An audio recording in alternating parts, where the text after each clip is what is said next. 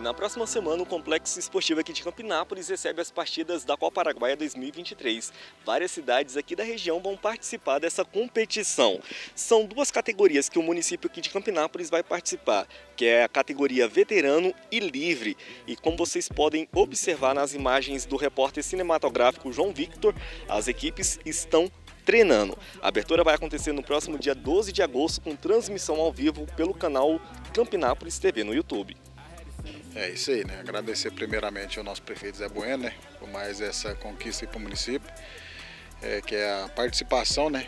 Da, da Copa Paraguaia. Campinápolis participou de todas as Copas Paraguaia até hoje, então nunca ficou de fora de nenhuma Copa Paraguaia. É, não seria essa que, que a gente ficaria de fora, né? E juntamente com esse nós estamos né, na inauguração do complexo, né? Estamos aqui, né? Hoje é um sonho realizado de muitos anos aí, nós que é desportista da cidade né, realizar uma Copa Araguaia no novo Complexo Esporte Campinápolis.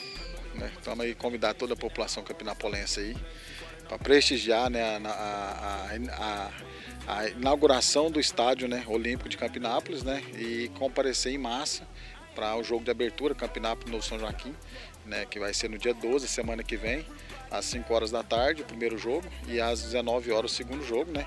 Pra gente estrear a tão sonhada arquibancada que está aqui, né? A tão sonhada arquibancada, ver um jogo, né? É, é, é, em outro nível, né? Que você tem uma arquibancada para você poder sentar, para você trazer sua cerveja, trazer sua família, né? Então, assim, é um sonho que a gente está realizando hoje aí. Com certeza, estamos aí trabalhando com o intuito de poder fazer uma participação mais uma vez forte, chegar como um dos candidatos, como sempre foi. O ano passado essa equipe foi foi eliminado nos pênaltis na semifinal da competição. Então, quer dizer, é uma equipe que entra como uma das favoritas e está trabalhando para isso. Um belo trabalho aí do nosso secretário, juntamente com o nosso prefeito, nos entregando essa praça esportiva aqui com esse, com esse belo campo aqui. E é a oportunidade que você falou, de poder comemorar ser campeão aqui dentro de casa. Né? A gente tá, começou os treinamentos já tem um mês, mais ou menos, com um contingente de atleta até interessante para trabalhar, mais ou menos em torno de 30 a 35 atletas. Fazemos a peneira, fizemos umas, umas, aproximadamente umas três peneiras em etapa. Chegamos ao número de em torno de 20 atletas. Um, um time de bastante qualidade, tem tudo aí para caminhar, fazer, o, fazer mais além do que foi ano passado. Beleza, graças a Deus, é um sonho realizado. Um novo estádio aqui, muito lindo. A gente ficar alegre, eu também como atleta já, quase aposentando, né? Nessa carreira do esporte, do esporte futebol de campo.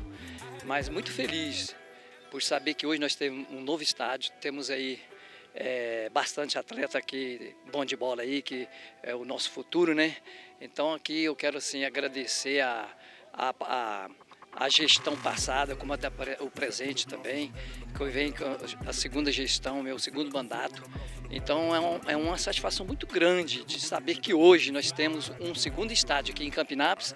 Isso é uma alegria para todos nós e eu desejo boa sorte para todos e que essa geração nova seja o futuro nosso de Campinápolis. They